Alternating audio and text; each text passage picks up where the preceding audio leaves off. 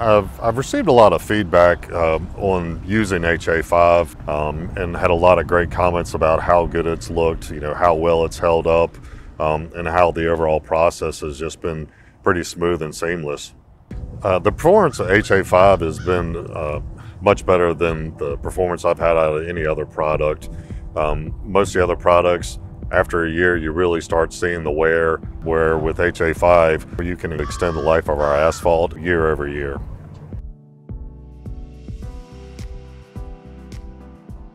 All right, my name is Lanny Park. I'm a project manager for a major commercial and real estate developer in Central Florida. The size of the community is we're uh, roughly about 100,000 plus people. Um, it's a master plan community here in Central Florida. Uh, we have uh, commercial development, uh, lots of residential development, uh, a lot of mixed use as well. Um, currently, the only product we use to extend the life of our asphalt is HA5. Um, we found that it is the best, most consistent, and longest lasting product that we've used. It is definitely head and shoulders above all the rest. In the past, we've used different types of asphalt emulsions, um, some different slurry products. Um, nothing I see that has really held up and stood the test of time like what we're looking for. Most of the other products that I've used on other facilities um, generally haven't gotten much more than a year of life out of them without them really showing you know signs of distress and signs of wear.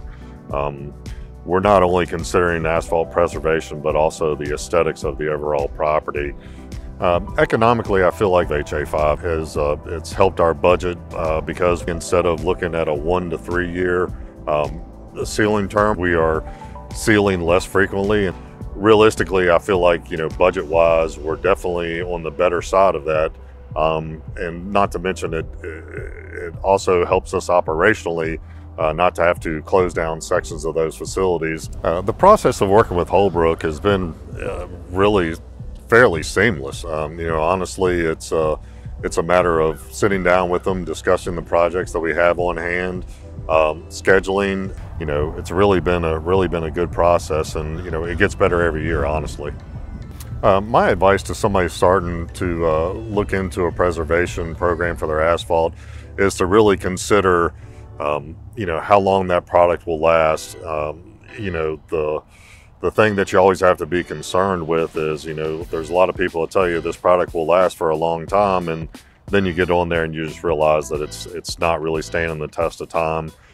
Um, if, if, you're somebody that manages asphalt, um, you really should first and foremost have a, have a preservation plan in mind, um, because ultimately that that asphalt will have a useful life and the you know the more that you can push that useful life or the more you can increase it uh, the lower your cost will be. Um, i would definitely recommend ha5 to uh, anyone who is is looking to extend the life of their asphalt